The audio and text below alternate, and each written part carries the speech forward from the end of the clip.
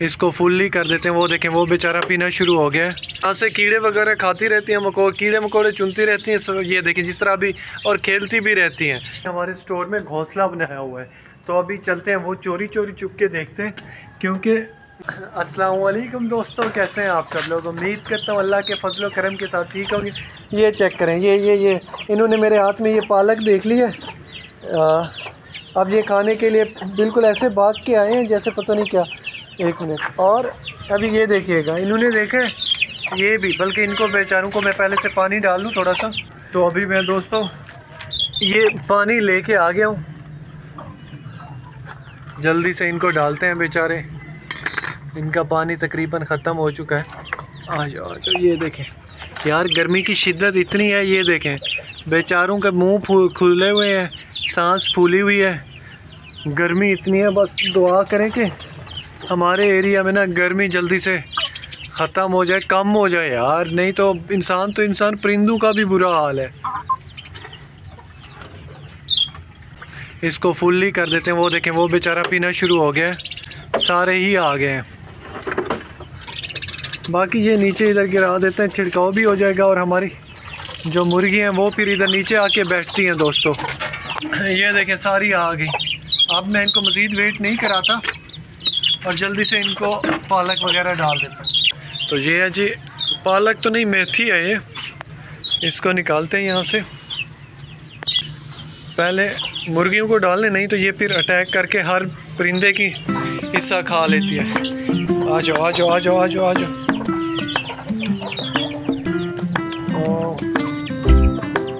सारे उधर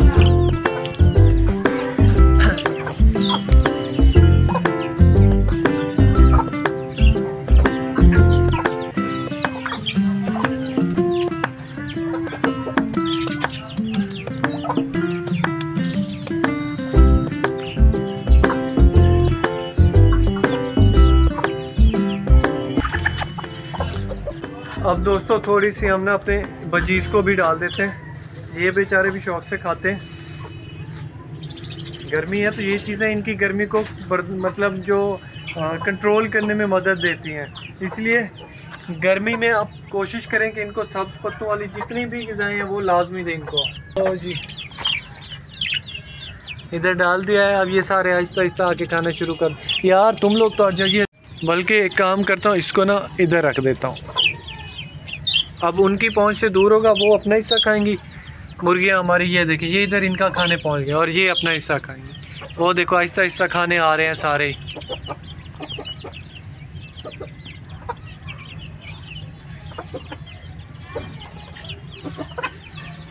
तो इनको बंद कर देते हैं।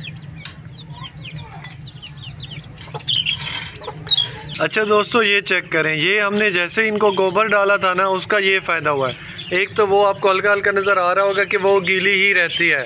डेली मैं इस पर छिड़काव कर देता हूँ तो ये मतलब मज़े से वहाँ पे खेलती कूदती रहती हैं अभी भी, जिस तरह आपको नज़र आ रहा है ना। दूसरी बात ये कि जब ये मैं इस पर छिड़काव करता हूँ, ये ठंडी रहती है तो वो इनके लिए सबसे बेस्ट है। जैसा कि आजकल गर्मियों का मौसम है दोस्तों तो ये यहाँ पर आके पुरसकून खेलती रहती हैं तो ठंडक का एहसास होता है इन्हें, जो कि इनके लिए सबसे बेस्ट है। क्योंकि मुर्गियों को गर्मी भी ज़्यादा लगती है, बल्कि मैं दूसरों मुर्गियाँ दिखाता हूँ, वो किस तरह गर्मी में रखती हैं अपने आप को। हैं वो दूध बाकी जो मुर्गियाँ वो यहाँ पे क्योंकि इसके डर से इसके पास आती नहीं तो यहाँ पे पानी में ही खड़ी हो जाती हैं अपने आप को गर्मी से बचाने के लिए। तो ये सीन होता है गोबर डालने का हमें ये फ़ायदा होता है। तो अभी हम दे देते हैं अपने इन तोतों को ये बेचारे भी खा लें थोड़ी सी आज आज ये लो ये लो ये इनके लिए काफ़ी है ये देखिए यार एक मिनट हाँ, अब यहाँ से। ये लो ये लो। वो देखें, वो इसका मुआयना भी करने लगा कि ये है क्या चीज़, खाने के लिए है भी क्या नहीं? यार, एक मिनट यार, ये मसला होता है इसको, मैं यहाँ से, अब चलिए, ठीक है, अब ये आराम से खाते रहेंगे। अब अपने पिजन्स को भी एक दफ़ा चेक कर लेते हैं, दाना तो पड़ा, इनका पानी भी चेंज करने वाला है तो पहले इनका पानी चेंज करते हैं हम। लो जी, ये यहाँ पे खाने के लिए पहुँच गए निकलो निकलो निकलो। यार, ये इनके कल के लिए है, ये कल भी देनी है इनको तो इसको मैं छुपा लूँ। ये देखें, ये भी यहाँ पे खाने के लिए मतलब शुरू हो गए तो ये सबसे बेस्ट है। तो ये खाते रहे यहाँ पे। तो दोस्तों, ये पानी अभी पिजन्स को डालते हैं, मैं लेके आ गया था। मैं इनको डाल लूँ, फिर आपसे मुलाकात करता हूँ। यार, गर्मी बहुत शदीद है यहाँ पे। बस दुआ करें, गर्मी थोड़ी कम हो। इसको हम निकाल देते हैं, बाहर फेंक देते हैं, ये पुराना हो चुका है। तो अब इसमें हम नया पानी डाल देते हैं। उफ, शदीद गर्मी है यार। तो ये है नफ़ है अब। और थोड़ा सा जो पानी बच गया, वो इधर डाल देते हैं, क्योंकि ये बेचारे गर्मी से बचने के लिए ना, इसी डरबे में ही होते हैं तो इनको ज़रा ठंडक मिले। ये पुरसकून रहे यहाँ पे। और ये वाले जो इधर हैं, इनके डरबे में भी डाल देते हैं पानी, गर्मी शदीद है। इन बेचारों को भी प्यास लगी होगी तो अब ठीक है। अच्छा दोस्तों, मैं आपको एक चीज़ दिखाता हूँ, यहाँ पे ना हमारे एक फाख्ता ने हमारे स्टोर में घोंसला बनाया हुआ है। तो अभी चलते हैं, वो चोरी चोरी चुप के देखते हैं, क्योंकि वो फिर जब उनको पता चलता है तो वो छोड़ के भाग जाती हैं। एक मिनट, में दिखाता हूँ आपको। वो वो तो ख़त्म हो गया, ओहो। यार, यहाँ पे ना, ये जो ऊपर आपको मैं करीब से दिखाता हूँ रोशनदान है यहाँ पे, बल्कि एक मिनट, मैं ना ऊपर चढ़ के आपको दिखाता हूँ। ये देखें थोड़े थोड़े के भी पड़े हुए हैं। वो हो कल तो अच्छा खासा यहाँ पे नेस्ट बना हुआ था। यार शिट मैं खुश था यहाँ पे घोंसला है। ओहो हो एक मिनट मैं उतर ओ, मैं नीचे उतर आता हूँ दोस्तों। यार यहाँ पे ना अच्छा खासा फाख्ता का घोंसला था। आ, क्योंकि मैं खुद आके मैं कई बार उसको देखा था। मेरा ये था कि अंडे देंगे बच्चे देंगे फिर मैं आपके साथ शेयर करूँगा। लेकिन मुझे लगता है ना किसी परिंदे ने हमला किया क्योंकि वो ख़ुद तो यहाँ से मतलब घोंसला ही नहीं है। अगर उन्होंने खुद छोड़ के जाना होता ना तो फिर वो मतलब खुद ही चली जाती। घोंसला है सिटी सी पड़ा रहता यहाँ पे।